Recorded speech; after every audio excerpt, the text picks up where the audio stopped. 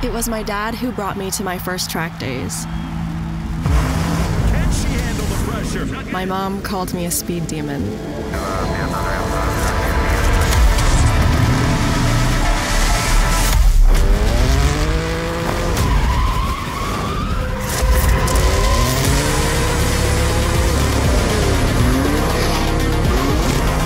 I did my first race when I was 16.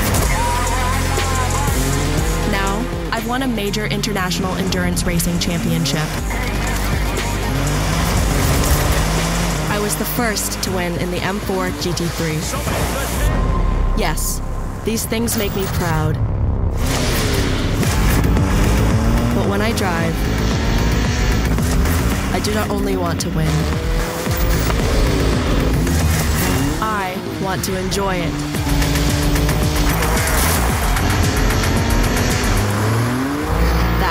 Winning in life.